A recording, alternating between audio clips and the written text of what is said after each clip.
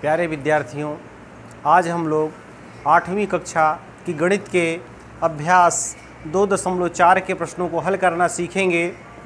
तो इस अभ्यास का मैंने पहला ही प्रश्न है, निम्नलिखित संख्याओं के वर्गमूल ज्ञात कीजिए। तो कई पार्ट में यह सवाल है, वर्गमूल ही ज्ञात करना है सब में तो कुछ एक परिमेय संख्याएँ हैं, मैंने भिन्न के रूप में हैं, और कुछ दशमलव भिन्न के रूप में भी संख्याएँ हैं, और इन सभी का वर्गमूल ज्ञात करना है। तो साधारण संख्याओं का वर्गमूल ज्ञात करना हमने पिछले अभ्यास में सीखा कि जैसे एक सौ उनहत्तर का वर्गमूल 225 मैंने जो पूर्ण वर्ग संख्याएँ थी, उनका वर्गमूल हमने ज्ञात करना सीखा। मगर अब यहाँ देखिए, अब कुछ दशमलव भिन्न में संख्याएँ हैं। और कुछ साधारण भिन्न में हैं। तो इस प्रकार की संख्याओं का वर्गमूल कैसे ज्ञात किया जाएगा, वह देखें।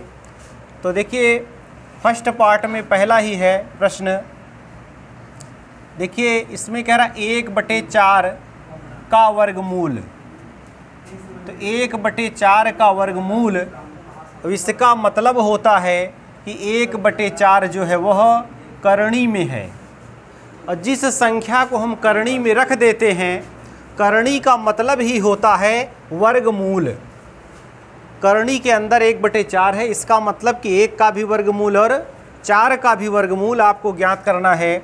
या फिर इसको आप इस प्रकार लिख लेंगे कि करणी में एक और फिर करणी में आप चार को भी लिख लेंगे। मैंने एक का वर्गमूल बटे चार का वर्गमूल। क्योंकि एक बटे चार जब पूरा वर्गमूल चिन्ह के अंदर है तो इसका मतलब है कि एक का भी वर्गमूल आपको ज्ञात करना है और चार का भी वर्गमूल आपको ज्ञात करना है। तो एक का वर्गमूल तो एक ही होगा, मैंने एक गुणा एक करेंगे तब भी मैंने एक ही होगा। तो एक के गुणनखंड हो गए, और बटे में जब चार के हम गुणनखंड करते हैं तो हमें दो गुणा दो प्राप्त होता है। तो देखिए, यहाँ पर एक जोड़ा, दो का बना समान गुणनखंड का, और यहाँ पर एक बना तो बराबर आपका उत्तर आ गया एक बटा दो। तो एक बटे चार का वर्गमूल जब ज्ञात करने के लिए कहा तो इसका उत्तर क्या आया? एक बटा दो। अब इसी प्रकार देखिए, मैंने जो दूसरा है यहाँ पर, सोलह बटे पच्चीस, सोलह बटे पच्चीस का वर्गमूल तो बराबर हो जाएगा। करणी में सोलह बटे पच्चीस। फिर इसका तात्पर्य यह हुआ कि सोलह का भी वर्गमूल और पच्चीस का भी वर्गमूल। तो करणी में आप सोलह बटे करणी में पच्चीस। मैंने सोलह का भी वर्गमूल और पच्चीस का भी वर्गमूल। अब सोलह के अभाज्य गुणनखंड कर लीजिए। तो दो गुणा दो गुणा दो गुणा दो। मैंने दो दूना चार और दूना आठ, दूनी सोलह अब इसे आप करणी में रख लीजिए। बटे पच्चीस के भी गुणनखंड आप अभाज्य करिए तो पाँच गुणा पाँच होगा। तो इसे भी हम करणी में कर लेते हैं। तब देखिए दो के कितने जोड़े बने? एक और दो, और पाँच के एक। तो बराबर क्या हो जाएगा? दो गुणा दो बटे पाँच। तो बराबर चार बटे पाँच आपका यह उत्तर हो जाएगा। तो देखिए, इस प्रकार से अगर भिन्न के रूप में संख्याएँ दी हैं और उनका वर्गमूल पूछ रहा है तो इस विधि से आप इसी प्रकार से मैंने इनका वर्गमूल ज्ञात कर लेंगे। अच्छा यदि यहाँ संख्या बड़ी होती और जो 16 बटे पच्चीस है तो इसके अभाज्य गुणनखंड हम भाग विधि द्वारा बगल में भी ज्ञात कर सकते थे। क्योंकि जब 16 छोटी संख्या थी तो मौखिक हमने गुणनखंड उसके ज्ञात कर लिए कि मैंने चार गुणनखंड होंगे दो के। लेकिन जब संख्या ये बड़ी होती तो हम भाग विधि द्वारा बगल गुणनखंड ज्ञात कर लेते, फिर इसी तरीके से लिख कर के प्रश्न को हल कर लेते। तो चलिए देखिए, अब यहाँ पर तीसरा जो प्रश्न है, अब देखिए यहाँ दशमलव भिन्न का प्रश्न है। तो यहाँ पर दिया है कि ज़ीरो दशमलव ज़ीरो नौ का वर्गमूल ज्ञात करना है आपको। तो सबसे पहले आप क्या करें, करणी में इसको लिख लें, ज़ीरो दशमलव ज़ीरो नौ। इसका मतलब कि इसका वर्गमूल ज्ञात करना है। तो अब देखिए, दशमलव भिन्न में यह संख्या है, इसे आप साधारण भिन्न में बदलेंगे तो क्या प्राप्त होगा? जब साधारण भिन्न में इसे हम बदलेंगे तो हमें प्राप्त होगा नौ बटे सौ। नौ बटे सौ प्राप्त होगा। कैसे? तो देखिए, जब दशमलव भिन्न में कोई संख्या रहती है, तब साधारण भिन्न में बदलने का नियम यह है कि जैसे ज़ीरो दशमलव नौ लिखा है तो अब इसे हम, ये तो दशमलव भिन्न है। साधारण भिन्न में बदलेंगे तो ऊपर लिखेंगे नौ और नीचे दशमलव को हम एक मान लेते हैं और जितने अंक होते हैं दाई ओर, उतने शून्य लिखते हैं। तो इसका मतलब हो गया नौ बटे दस। ऐसे ही संख्या लिखी है ज़ीरो दशमलव ज़ीरो ज़ीरो। मैंने तीन यह लिखा है। ये दशमलव भिन्न में है। अगर हम इसे साधारण भिन्न में बदलें तो हम लिखेंगे तीन बटा और दशमलव को एक मान लेंगे। और बाद में कितने अंक हैं? एक, दो, तीन, चार। तो एक के बगल हम कितने ज़ीरो लिख देंगे? चार। तो देखिए, ये साधारण भिन्न में संख्या अपरिवर्तित हो गई। तो दशमलव भिन्न को साधारण भिन्न में आप पहले बदल लें। तो जो इसका मतलब है वही, इसका मतलब है मैंने यह मान और यह मान दोनों मान आपस में बराबर हैं। तो अब देखिए, हमें क्या करना है कि नौ का वर्गमूल बटा और सौ का वर्गमूल।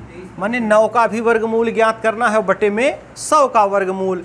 तो नौ का जब गुणनखंड करेंगे तो तीन गुड़ा तीन हो जाएगा और बटे जब सौ के करेंगे तो हमारे पास गुणनखंड आएगा दस गुड़ा दस। दस गुणा दस।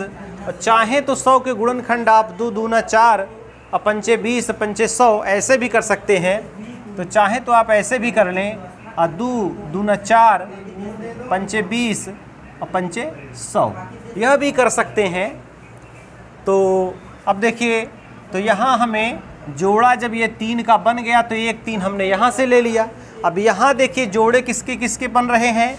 और दो के और पाँच के। तो यहाँ हम लेंगे दो गुड़ा पाँच ले लेंगे। तो तीन बटे दस हमारा क्या हो जाएगा? उत्तर हो जाएगा। तीन बटे दस हमारा ये आंसर हो गया। अब ऐसे ही देखिए अगला प्रश्न है। चौथा, इसमें देखिए दे रखा है ज़ीरो दशमलव ट्रिपल ज़ीरो फोर। इसका वर्गमूल ज्ञात करना है आपको। तो हमने कहा था सबसे पहले इस दशमलव भिन्न को साधारण भिन्न में आपको बदलना है। तो साधारण भिन्न में कैसे बदलना है, यह हमने आपको बताया कि ज़ीरो दशमलव और ट्रिपल ज़ीरो फोर, पहले आप इसे करणी में ले लीजिए। क्योंकि चाहे इस लाइन को लिखो, चाहे करणी में लिख दीजिए, बात एक ही है दोनों, ये वर्गमूल का चिन्ह है करणी अब बराबर, अब जब इसे हम दशमलव भिन्न में बदलेंगे तो चार बटे और दशमलव को एक मानेंगे, शून्य कितनी बार लिखेंगे? एक, दो, तीन, चार बार। एक, दो, तीन, चार बार। अब इसे पूरे को आप करणी में ले लीजिए, क्योंकि पूरे का वर्गमूल आपको ज्ञात करना है। तो देखिए, हम पा गए चार बटे और दस हज़ार। चार बटे दस हज़ार। अब देखिए अब गुणनखंड करिए। जब चार के हम गुणनखंड करेंगे, चार के गुणनखंड जब हम करेंगे तो दो गुणा दो प्राप्त होगा।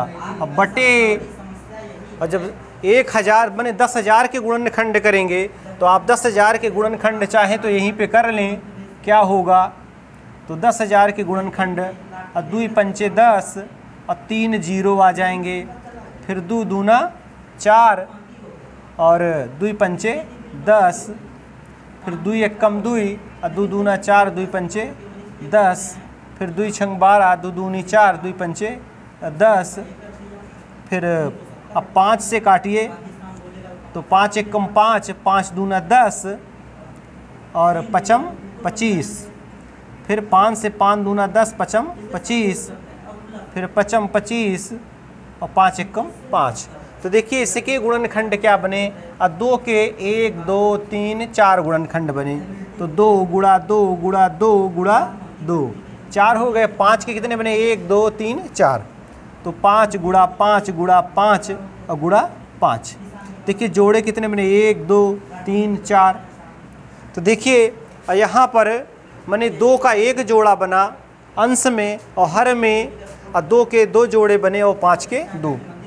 तो एक जोड़े में से एक अंक लेना है तो ऊपर दो बटे और नीचे क्या आया? और दो गुड़ा दो गुड़ा पाँच गुड़ा पाँच। तो देखिए, अब फाइनली आंसर आपका आ गया। और दो दूना चार पंचे बीस, पंचे सौ। दो बटे सौ और बराबर एक बटे पचास। आपका यह आंसर आ गया। तो इस प्रकार से दशमलव भिन्न संख्याएँ जो हैं, उनका भी वर्गमूल हम ज्ञात कर सकते हैं।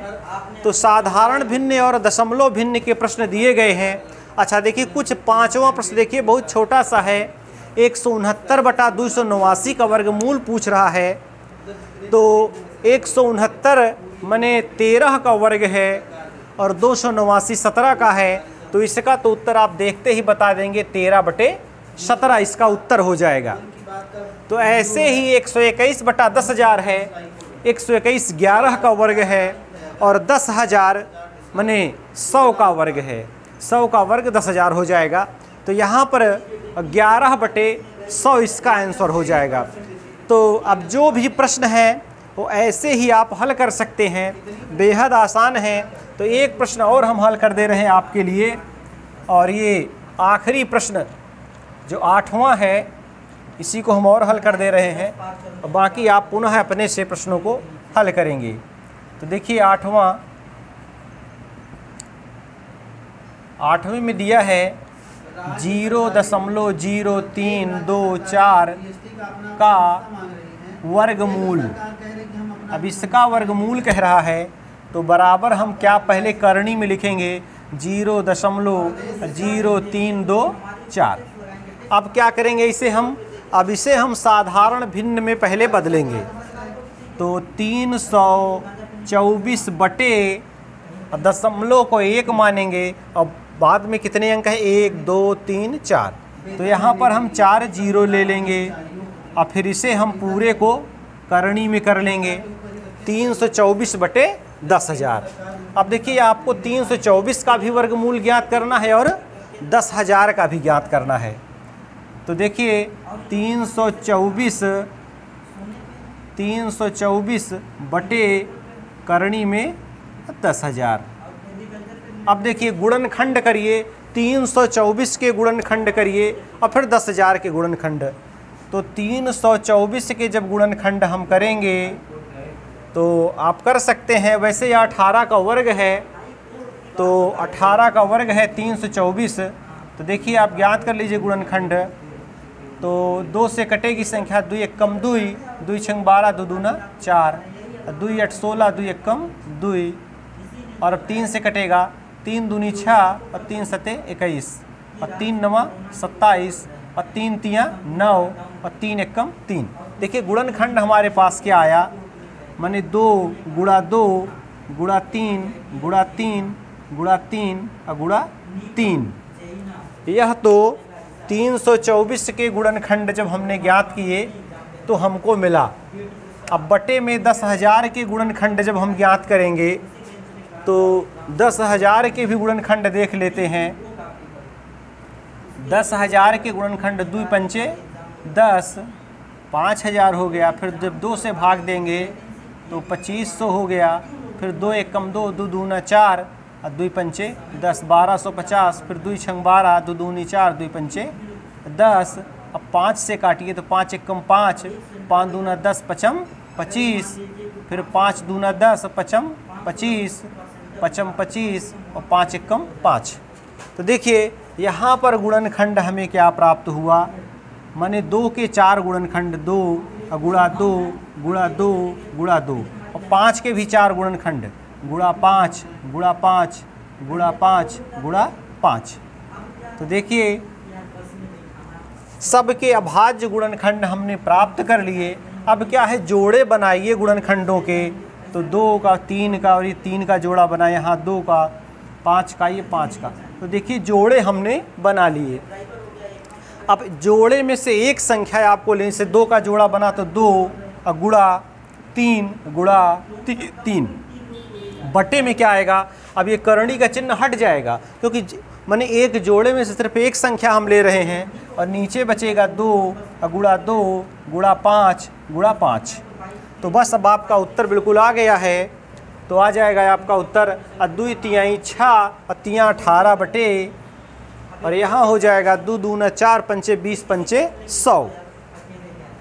तो अठारह बटे सौ। अब चाहें तो आप इसे थोड़ा सरल कर लें। तो दो से सरल करेंगे, दो नौ अठारह और पचास दूना सौ। तो नौ बटे पचास। अब आप और अगर सरल करना चाहते हो, दशमलव भिन्न में बदल लें और पचास से नौ में भाग दे दें, तब आपका दशमलव भिन्न में आपका उत्तर भी आ जाएगा। तो देखिए, पचास से अगर आप भाग देते हैं तो ज़ीरो दशमलव नब्बे हो जाएगा और पचास से कम, मैंने पचास, चालीस बचेगा। एक शून्य लेंगे तो पानठ, चालीस।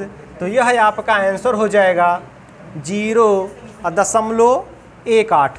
तो ज़ीरो दशमलव एक आठ इसका वर्गमूल हो जाएगा कि ज़ीरो दशमलव ज़ीरो तीन दो चार का वर्गमूल ज़ीरो दशमलव ज़ीरो एक आठ। तो इस प्रकार से वर्गमूल के बेहद ही आसान प्रश्न हैं। तो आपको करना क्या है कि सारे इन प्रश्नों को आप नोट कर लीजिए। एक से लेकर आठ प्रश्न हैं। और एक बार स्वयं से इनका वर्गमूल आप ज्ञात करिए। यदि कोई दिक्कत होती है तो आप इस वीडियो को पुनः देख करके अपनी गलती का सुधार कर सकते हैं। तो बस इतने ही प्रश्न भी थे इस अभ्यास में, और अगले दिन हम लोग मैंने अभ्यास दो दशमलव पाँच के प्रश्नों को देखेंगे। तो आज बस इतना ही। बस धन्यवाद।